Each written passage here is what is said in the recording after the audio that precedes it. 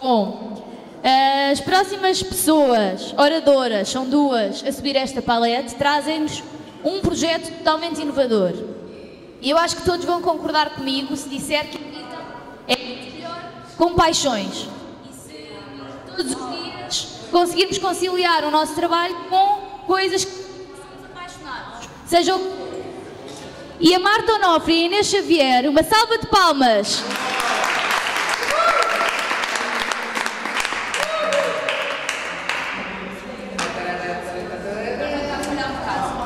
Boa noite. Eu não gosto nada de falar ao microfone.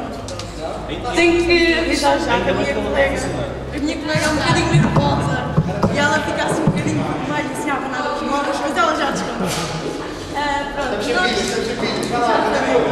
nós somos duas colegas, amigas, que estudámos durante alguns anos juntas e um dia estudámos as músicas, E em Santarém também. Estão em Pina.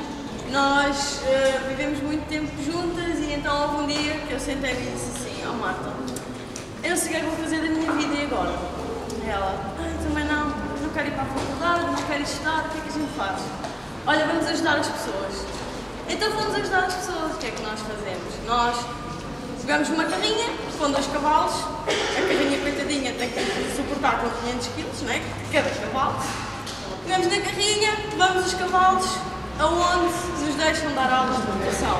Ou seja, o nosso projeto consiste numa escola de equitação itinerante.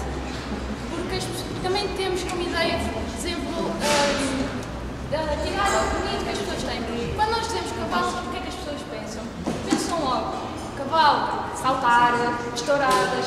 Então e as pessoas, por exemplo, os idosos, as crianças, pessoas com problemas, deficiências, e eles não podem usufruir do cavalo. Sim, podem. O cavalo já desde há muitos anos é utilizado como um terapeuta, tanto para pessoas com problemas psicológicos como motores. Todas as pessoas merecem ter uma oportunidade, isto é uma paixão, não é uma obrigação. Ah, muitas pessoas pensam que "Ih, que chatice dar aulas a crianças, não é, eles adoram, nós adoramos-os, eles são, as, tanto as crianças como os idosos, são relações fantásticas que nós criamos com eles.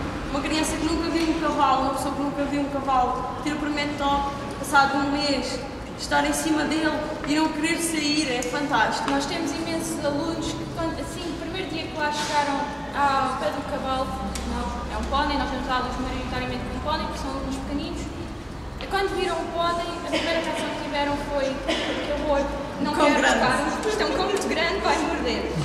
E tipo, cheguei a ter um aluno que, quando, só para o meter em cima do cavalo, foi um cabo de trabalhos, ele chorava, não queria, e é um aluno que hoje Chora chora quer ter aulas connosco. querem ter aulas connosco, nós mudámos de instalações há pouco tempo e quando os pais me informaram que nós mudámos, o menino que tem 4 anos começou a chorar que ou tinha aulas connosco e com aquele pônei ou não ia mais.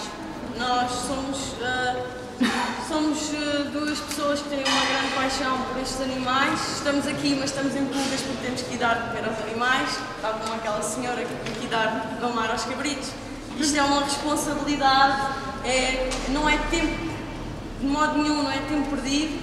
Nós adoramos os nossos animais e somos duas pessoas que queremos trabalhar e queremos ajudar as outras pessoas e obrigado por, estar, por nos deixarem estar aqui. Aliás, como se costuma dizer, fazes um trabalho que gostes e nunca terás de trabalhar um dia na tua vida. Exatamente.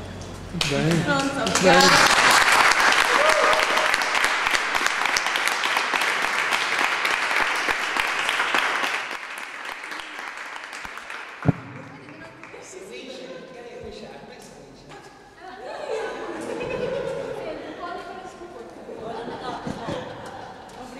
Obrigada, Marta e Inês.